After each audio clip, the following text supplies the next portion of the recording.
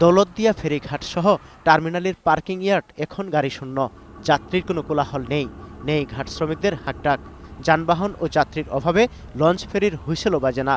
বিভিন্ন দোকানপাট খোলা থাকলেও ক্রেতা নেই।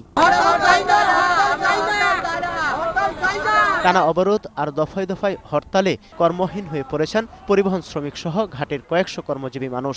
দৌলতদিয়া পাটুরিয়া রুটে লঞ্চ চলাচল করছে। তবে কমে গেছে দূরপাল্লার বাস চলাচল।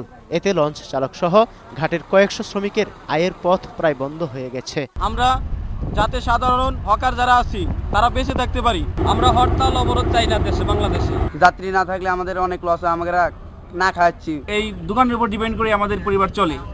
তো দোকান বন্ধ থাকলে আমাদের না খেয়ে মরতে হবে। যা বেশি চারিটাল নিয়ে খাই এইভাবে আমরা চলতেছি আর কি। দৌলতদিয়া ঘাট হকার্স বহুমুখী সমবায় সমিতির কর্মকর্তা জানান টানা অবরোধে হকাররা কর্মহীন হয়ে পড়েছেন। এতে পরিবার পরিজন নিয়ে বিপাকে পড়েছেন তারা। কাঁচামাল দুদিন থাকলে এটা পয়সা নষ্ট হয়ে যায়। নষ্ট হয়ে গেলে আমাদের কৃষকেরও ক্ষতি আমাদের ব্যবসারও ক্ষতি। আমরা তার কাছে বিনীতভাবে বলতেছি যে আমাকে দেশে শান্তি ফিরে দেন। আমরা চাই না যে আমরা গরিব মানুষ ধুকে ধুকে মারা যাই।